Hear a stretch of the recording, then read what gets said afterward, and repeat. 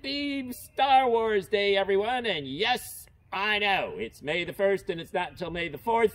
I was told that several times today. I know that, but Fridays, Fridays are my costume day. So happy Star Wars Day. And the first thing I'm going to do is take this face mask off.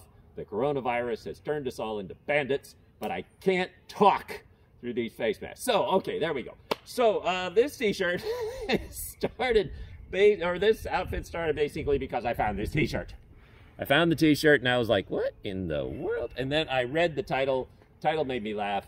And then I looked at the t-shirt and I thought, I could do that. So, so anyways, uh, this is R2-D2's more artistic cousin. And his name is, I will give you a pause so you can guess. And his name is